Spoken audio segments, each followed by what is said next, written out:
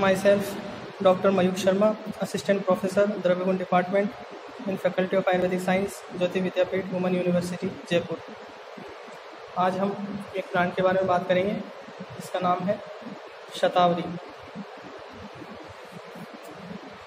शतेन आवरणोति इति। अनेक मूलों से युक्त होने के कारण इसे शतावरी कहते हैं। इसका बॉटनिकल नेम एस्परेगस रेसिमोसस है। और ये लिलियसी फैमिली में आती है।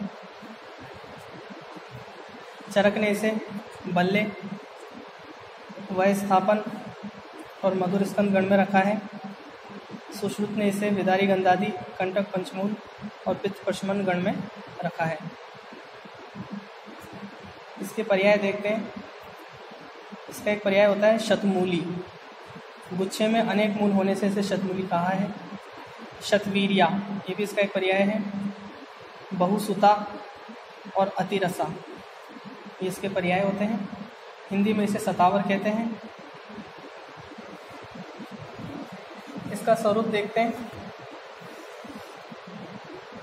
ये कांटे युक्त झाड़ीदार आरोहिणी लता होती है।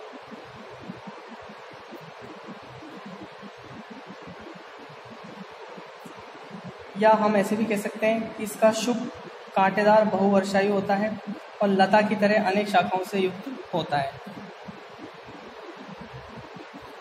इसकी शाखाएँ त्रिकोण युक्त चिकनी होती है, किंतु रेखान्वित होती है।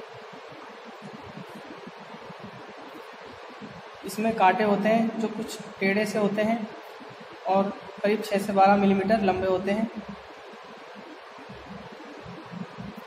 इसके फूल छोटे सफ़ेद रंग के और सुगंधित गुच्छों में आते हैं।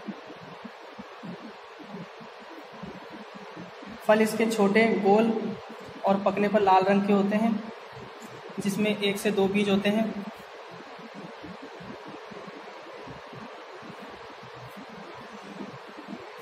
इसके मूल स्तंभ से कंद के सदृश, श्वेत, लंब और गोल, परंतु दोनों सिरों पर पतले मूलों के गुच्छे निकलते हैं।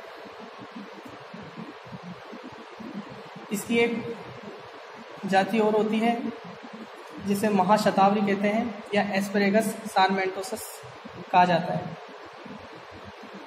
इसकी जो लता होती है, वो बड़ी होती है।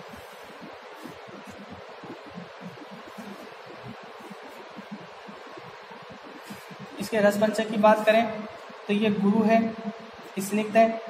रस इसमें मधुर और तिक्त होता है, विपाक इसका मधुर है, और ये शीतवीरी वाली होती है।